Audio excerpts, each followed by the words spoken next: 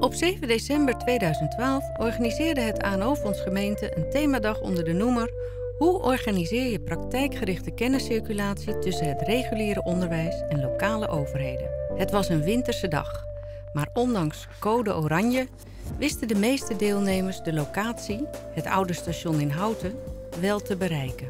Het station dateert uit 1868 en is nu een kleinschalig ontmoetings- en congrescentrum. Van buiten is het pand in oorspronkelijke staat gerestaureerd. Van binnen is het gemoderniseerd. Alle werkzaamheden binnen het oude station worden uitgevoerd door mensen met een verstandelijke beperking, die hun uiterste best doen om met de gasten naar de zin te maken. En met succes. Buiten was het koud en wit, maar binnen was het warm en inspirerend.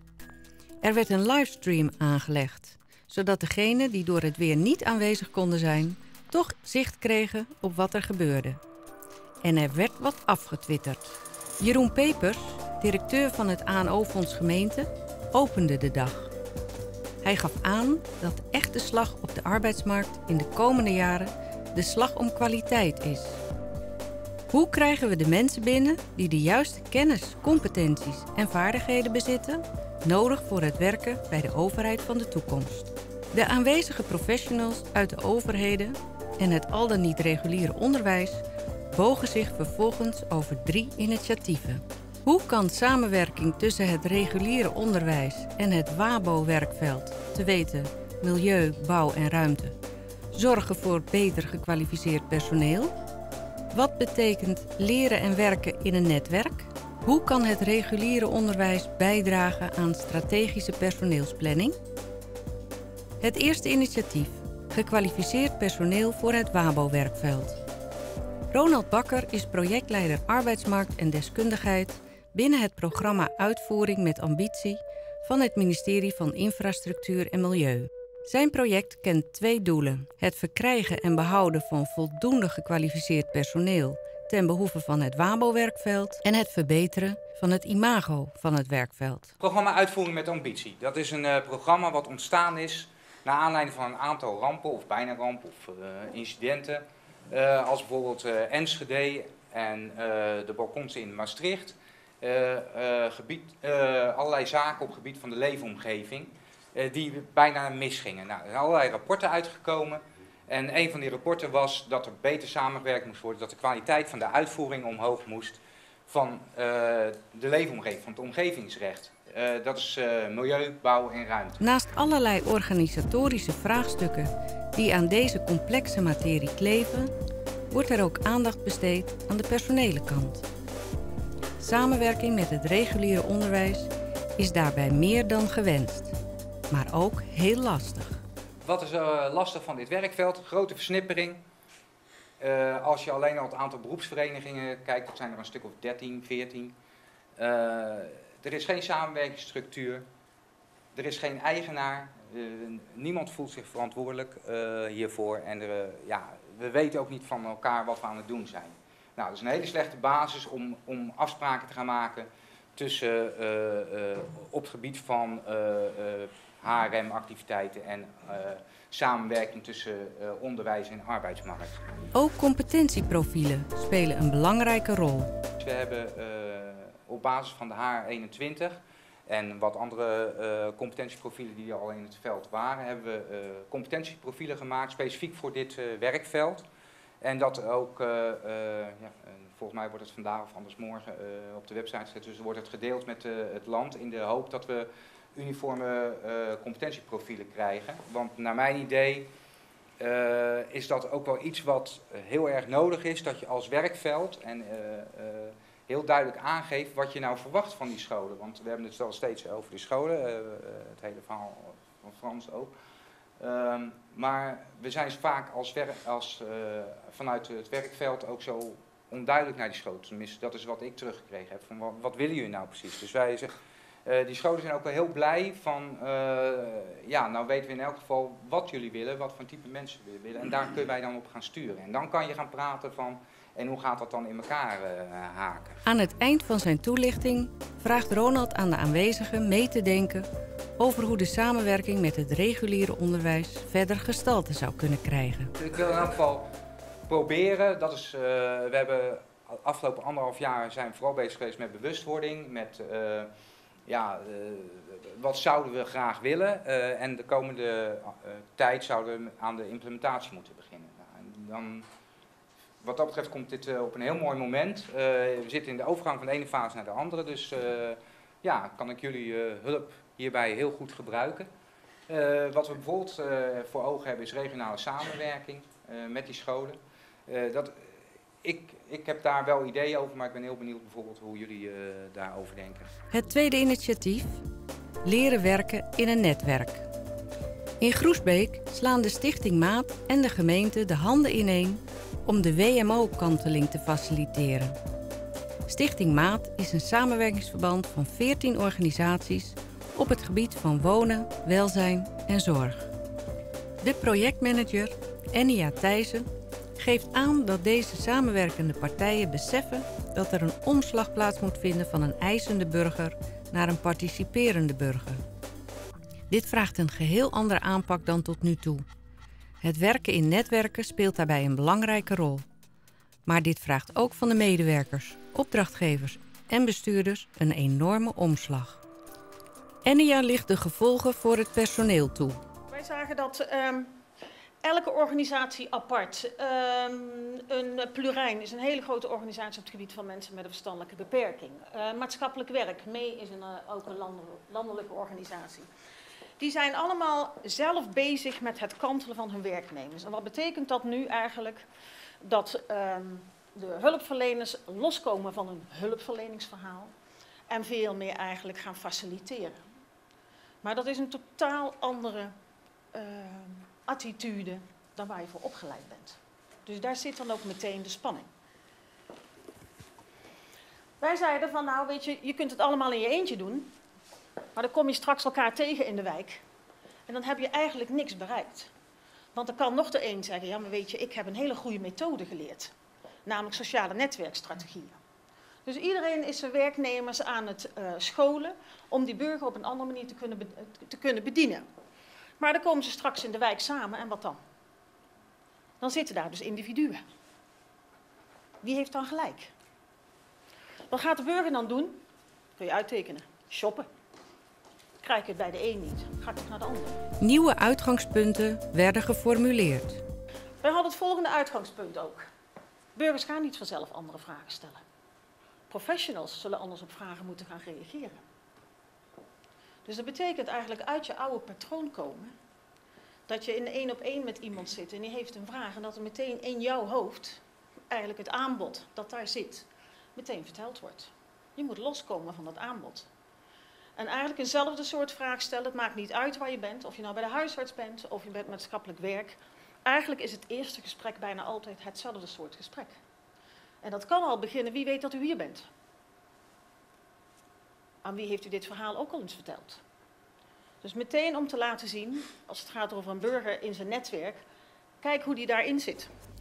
De belangrijkste conclusie was dat de leeropdracht moest worden leren om in een netwerk te werken. Kennis is daarbij slechts een onderdeel van het leerproces. Enia legt de aanwezigen een aantal vragen voor. Ik had een aantal vragen die ik zo meteen uh, graag aan jullie wil stellen. Um, hoe kan het onderwijs een bijdrage leveren aan de toekomstige authenticiteit van de professionals? En zouden op de basisscholen kunnen beginnen met een skillslab? Um, hoe verhoudt het kantelen zich tot de regierol van de gemeente? Dat is natuurlijk ook een, uh, vinden wij een uh, interessante vraag hoe je daar tegenaan kijkt. En dan een andere vraag, maar dat is ook meer misschien van een uh, didactische aard. Um, eerst reframen en dan actie leren? Of door actie leren reframen? Initiatief 3 relatie, strategische personeelsplanning en onderwijs. Omdat Marian van de Veen door de slechte weersomstandigheden niet uit het hoge noorden naar Houten kon komen, nam Jeroen Pepers het toelichten van het derde initiatief op zich, waarbij het gaat om de bijdrage van het reguliere onderwijs bij de strategische personeelsplanning. Ja, belangrijk als gemeente, als, eh, aantrekkelijk als werkgever, uh, ook in de regio Friesland, uh, uh, dat zitten we heel erg te zoeken van hoe kunnen we nou zorgen dat we als gemeente, daar werken ze bij samen met een aantal gemeentes in die regio, hoe kunnen we zorgen dat we aantrekkelijk blijven in zo'n gebied waarbij je toch ook een hele andere positie hebt dan in, in de Randstad of in Brabant, maar bijvoorbeeld ook in Limburg, waar ook weer andere dynamiek is. Wat zij gedaan hebben, ze hebben met Wissel uit, dat is een verbinding met een aantal gemeentes waarbij men met allerlei klussen en allerlei mensen uitwisselt om te zorgen dat een bepaalde expertise die je dan toevallig niet hebt in je organisatie kan worden ingeleend vanuit de collega-organisatie van andere buurgemeenten. En zij zoeken uh, in dat programma ook verbinding met, uh, met de hogescholen en onderwijsinstellingen. Vervolgens schetst Jeroen het vraagstuk dat Friesland graag aan de aanwezigen wil voorleggen. Ik denk dat waar zij mee zitten, is van hoe krijg je nou het proces van hoe kun je nou spannende vragen formuleren voor studenten uh, om uh, met, met klein onderzoek, met scripties, om die uit te diepen. Hoe zorg je ervoor dat je daar echt uh, tot goede onderzoeksvragen komt. Hè? Want het zou heel leuk zijn om als organisatie een soort tegendenken te creëren bij een kennisinstituut als een hogeschool. Dan moet je wel hele goede opdrachten weten te formuleren, want het moet ook leiden voor zo'n student tot een interessante opdracht die voor hem of haar ook loont natuurlijk. dus dat is spannend om daarover na te denken. Hoe doe je dat dan? Hoe kom je in contact überhaupt met, uh, met, met studenten? Na de introductie van de drie initiatieven was het tijd voor de deelnemers om aan de slag te gaan met behulp van de methode Rapid Prototyping. Het begrip Rapid Prototyping is ontleend uit de praktijk van industriële ontwerpers en softwareontwikkelaars. Het duidt op een proces waarin ideeën en concepten worden gebouwd en getest voordat ze af zijn. Met rapid prototyping worden weerbarstige vragen snel vertaald naar creatieve ideeën, kansrijke concepten en bruikbare prototypen. De deelnemers splitsen zich op in drie groepen. In een aantal rondes werden de initiatieven vervolgens besproken, bediscussieerd en werden ideeën aangedragen. Steeds werd voortgebouwd op dat wat de vorige groep had ingebracht. Kennis werd gehaald, gebracht en gedeeld. Met de volgende opbrengsten. Nou, wij doen eigenlijk nog heel traditioneel uh, vooral uh, uh, ruimte bieden aan stages, mbo-stages en hbo-stages of wo-stages. ik denk ook dat het een, een, onderdeel is van een bredere discussie, wat ook al genoemd werd.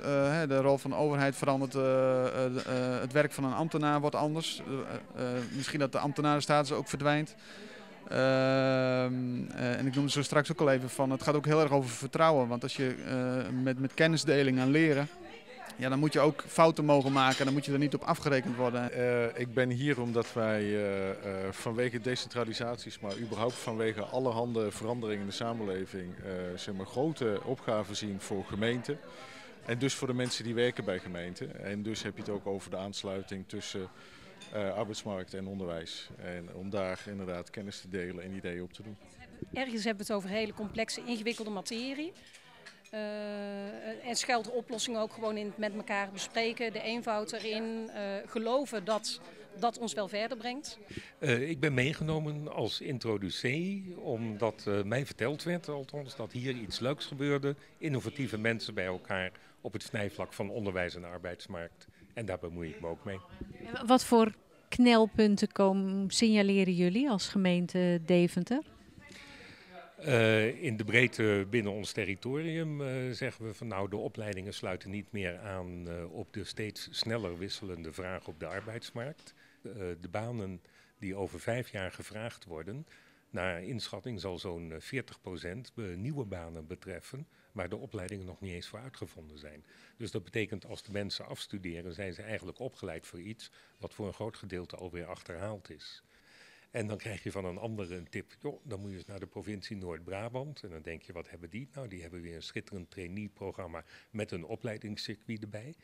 En ik denk van ja, ik kan alles wel zelf bedenken, maar het is natuurlijk veel beter om te profiteren van iemand die daar al drie jaar lang in een cyclus van we hebben een plan en we stellen het bij een end verder mee is. Dus ik neem zeker dingen mee. Ja. Uh, je merkt dat ja, jongeren toch uh, ja, een hele andere beeld hebben van ja, ambtenaren en gemeentes dan het in werkelijkheid is. Een beetje, ja, jaren 60 idee hebben ze daar nog over eigenlijk. Van saai en log en traag. En als ze eenmaal binnen zijn geweest en daar stages hebben gelopen of gewoon gekeken hebben, dan wordt dat beeld helemaal bijgesteld. En dan is het toch heel anders dan dat ze verwachten en uh, leuker en dynamischer. Maar ik vond het verhaal van uh, de kenniscirculatie, uh, zeg maar meer het theoretische verhaal, dat vond ik zelf wel heel interessant erachter. Dat heeft mij een wat breder perspectief gegeven in mijn ideeën, maar ook in wat we momenteel met EKBO aan het doen zijn op dat onderwerp. Dus dat vond ik zelf persoonlijk heel fijn om ja, daar een stukje meegenomen te worden. De opbrengsten van initiatief 1, gekwalificeerd personeel voor het WABO-werkveld. Eigenlijk werd gezegd van, je moet vooral eerst zorgen dat er draagvlak is, uh, dat er een noodzaak is. Gaan we voor een bedrijfsschool, gaan we voor uh, regionale, aansluiting bij regionale opleidingen. Maar ook kwam de vraag op of er wel zoveel nieuwe mensen in de toekomst nodig zijn als de processen meer lean georganiseerd zouden gaan worden. De algehele conclusie was dat er meer onderzoek nodig is naar de wijze waarop de samenwerking met het onderwijs precies gestalte moet krijgen. In ieder geval voor het werkveld WABO. Ook het initiatief om de WMO-kanteling in Groesbeek te faciliteren had via rapid prototyping het nodige opgeleverd. Dus het samenwerken, samen leren is wel een wezenlijk onderdeel van het onderwijs, waarbij het samenwerken wel gezien wordt als iets functioneels. Dus niet samen doen om het samen doen gezellig in een groepje, maar het samenwerken een functioneel onderdeel van je vak is. Dat je als maat ook afspreekt, wij gaan VMBO's of uh, op ROC's gastlessen verzorgen. Over werken in de wijk, gewoon ook vertellen over de beroep. Het reframen meer als kompas tijdens het leren. Maar geef uh, met name de professionals in de wijk veel ruimte om zelf te leren en uh, te ontdekken. Wat is er er voor de rol van de gemeente? Um, ook erg boeiend. Nou, dat is geen vaste rol meer. Daar waar eerst alles wat duidelijker was, wat de rol van de gemeente was, is die nu niet vast meer. En gaat hij steeds meer een faciliterende rol zitten. Dus dat is een beetje ook situationeel. Bij het onderwerp strategische personeelsplanning in relatie tot het onderwijs was tijdens de Rapid Prototyping sessie aangegeven dat goed gekeken moet worden naar de opdrachten die een student moet uitvoeren. Wie stelt ze op? Zijn ze praktisch toepasbaar? Ook werd benoemd dat het hebben van een peer, iemand met wie de student op de werkvloer kan sparren, heel belangrijk is. Evenals het groepsleren. En er werd een nieuw begrip geïntroduceerd. Ja, dat, dat, dat kennis. Hè, van kennis is makkelijk. Uh, als je een iPad hebt, dan stroomt de hele wereld via Google uh, stroomt, uh, binnen. Daar gaat het toch eigenlijk ook niet, niet over. Het gaat om kennis. Hè, dus kennis in de zin van kennis en kunde, zo vertaal ik dan maar even, de ervaring. En de kennis van een, van een professional, daar zit een bepaalde waarde in. Hè, zeg maar de evidence practice-based waarde, waar mensen met ervaring over kunnen vertellen. En juist dat, die kennis is juist zo aantrekkelijk voor studenten. Omdat ze daar de, de werkelijkheid ontmoeten met wat ze in de boeken hebben, hebben geleerd. Jeroen Pepers sloot tenslotte de dag af met de volgende woorden. Blijven delen, omdat we denk ik toch allemaal kleine stukjes puzzelstukjes hebben voor, uh, voor het antwoord. En vooral in het proces van delen uh, de winst ook zit zeker. In het voorjaar van 2013 vindt het vervolg op deze dag plaats. Je kunt het onderwerp ook interactief volgen op Pleio onder aansluiting onderwijs arbeidsmarkt.